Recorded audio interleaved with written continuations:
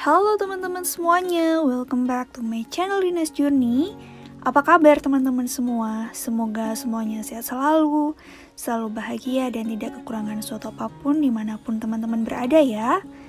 Di kesempatan kali ini aku akan ajak teman-teman untuk jalan-jalan ke Diablo Lake. Jadi summer kemarin saya, suami dan juga ibu mertua berkunjung ke salah satu danau yang sangat besar dan cantik yang terletak di North Cascade Mountains di Northern Washington State.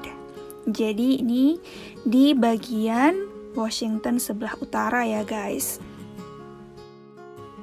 Karena letak Diablo Lake yang berada di pegunungan, jadi di perjalanan kali ini kita akan banyak sekali melewati hutan dan juga pedesaan, serta kita menuju ke dataran yang lebih tinggi.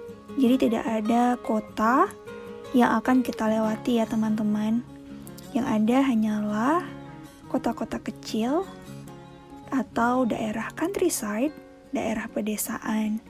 Dan karena daerah pedesaan, tentunya pemandangannya pun sangat asri dan hijau seperti ini ya. So, enjoy the view guys.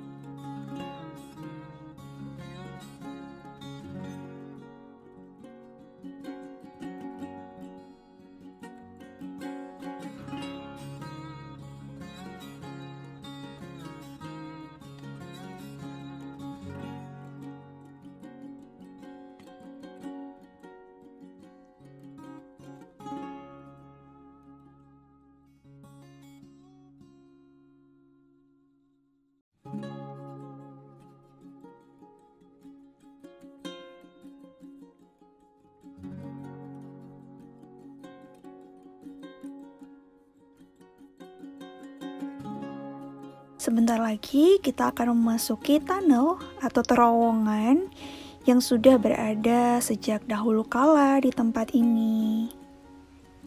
Dan inilah dia tunnelnya. Jadi ini adalah bukit yang dibolongi ya, biar orang bisa lewat menuju ke Diablo Lake. Jadi teman-teman, Diablo Lake ini selain dia danau, juga ada sebuah dam yang dibuat di Diablo Lake jadi di Diablo Lake itu bukan hanya sebagai tempat wisata tetapi juga sebagai salah satu tempat pembangkit listrik di daerah Washington State, tepatnya di Northern Washington. Ini adalah sungai yang bernama Skagit River yang berada di dekat Diablo Lake. Singkat cerita, akhirnya sampailah kita di Diablo Lake dan ini kita akan melewati jembatan di mana kita bisa melihat sedikit Diablo Lake dari jembatan. Jadi Diablo Lake ini adalah danau yang berwarna biru ya teman-teman. Sekarang kita akan menuju ke Diablo Lake View di mana kita bisa melihat danau dari atas bukit. Jadi kita bisa melihat dengan jelas pemandangannya.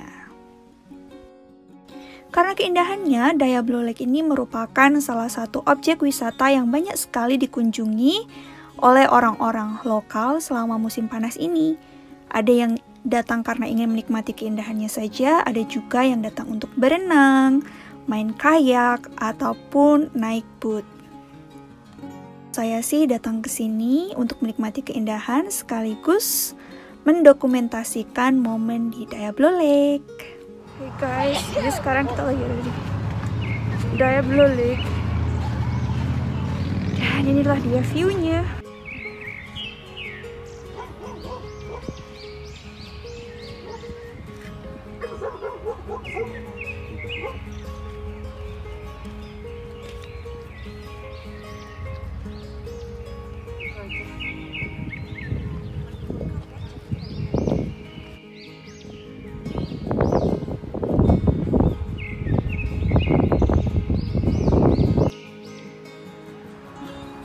Nah, teman-teman sudah lihat bukan daya Lake-nya itu cantik banget, warnanya biru. Dan inilah dia salah satu tempat di daya Lake View. Orang-orang yang datang ke sini teman-teman bisa lihat banyak sekali pengunjung. Jadi kita semua pakai masker ya. Dan kita bisa lihat ini kami berdiri di pinggir tebing jadi ini tebingnya nggak dikasih pembatas ya, nggak seperti yang di sebelah sana. Di sebelah sini lebih terbuka, jadi kita harus berhati-hati biar tidak terperosok. Dan lihat teman-teman, airnya biru banget. Dan gunungnya di sebelah sana nampak sangat cantik.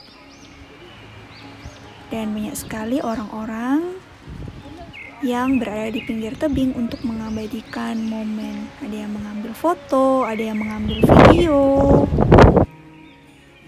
Dan tidak lupa juga saya pun mengabadikan beberapa foto sebagai kenang-kenangan. Cantik sekali ya teman-teman latar belakangnya. Ini saya dan suami. Jadi kita foto ala-ala model gitu ya. Mumpung kita berada di tempat yang sangat cantik di Diablo Lake.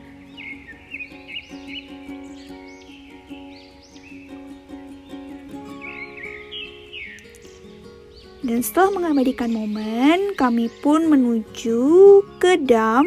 Kita mau melihat seperti apa sih situasi di dam. Dan ini ya, ada orang yang sedang menikmati kayaking di Diablo Lake. Dan ini adalah perjalanan kami menuju ke dam. Jadi teman-teman sudah bisa lihat tembok di sebelah sana itu adalah damnya ya teman-teman. Tapi karena ini musim panas, jadi airnya tidak banyak, jadi kita tidak bisa melihat adanya air di dam. Jadi damnya kering ya teman-teman. Airnya tidak sampai keluar ke dam. Dan sekarang kita akan menyetir di atas dam. Damnya cantik banget ya, dan terlihat sangat kokoh.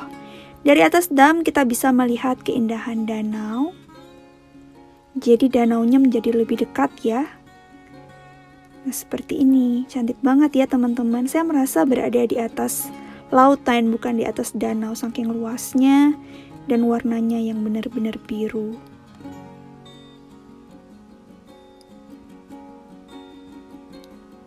Karena hari itu sangat ramai, jadi kita tidak bisa jalan kaki di atas dam ya karena begitu banyak sekali kendaraan yang lalu lalang di atas dam.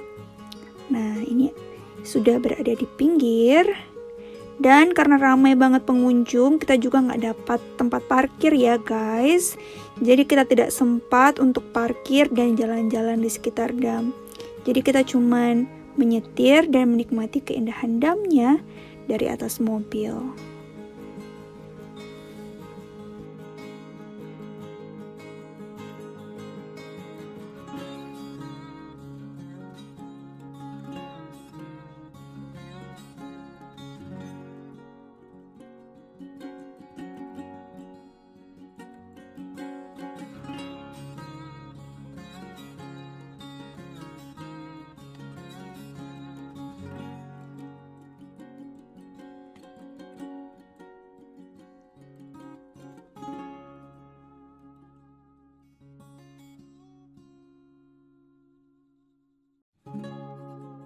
Berkeliling di sekitaran dam, kami pun putar balik menuju arah pulang. Nih ya, saking ramenya kita sampai antri di atas dam. Dan inilah dia jembatan. yang kita lewati.